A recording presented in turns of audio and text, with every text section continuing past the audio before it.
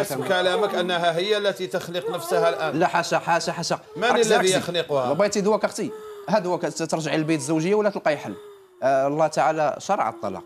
ما كانش ما كانش هادشي لا, مقدر. لا نصل إلى الطلاق. هذه ولا- امراه مريضة. ولكن الأختي بغيت لها الحل صافي. ولكن لو شاءت الطلاق لذهبت إلى المحكمة. هي أبشر. تريد العلاج لا تريد الطلاق. أبشروا أبشروا. لا أنا نشجعها على الطلاق. أنا نوضح الفكرة إن شاء الله بإذن الله. نعم. اللي كيهمني بزاف اللي كيهمني بزاف.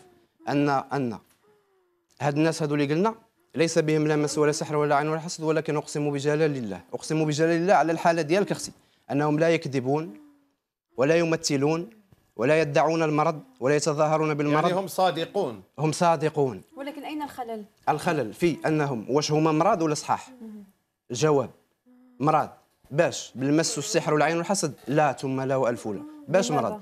مرض بواحد المرض هو مرض كسائر الأمراض له اسم علمي كسائر الأمراض بحال وهو؟ الكوليسترول الضغط الدموي هو الوهم المرضي.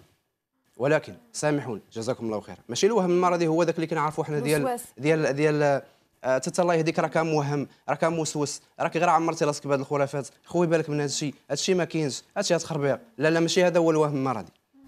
سمع أختي سمعت تشخيصك ال- الوهم المرضي هو شعور حقيقي إحساس حقيقي. ألم حقيقي. عرض حقيقي يعني علامة مرض حقيقية ولكن لاعتقاد ليس حقيقي. حبيت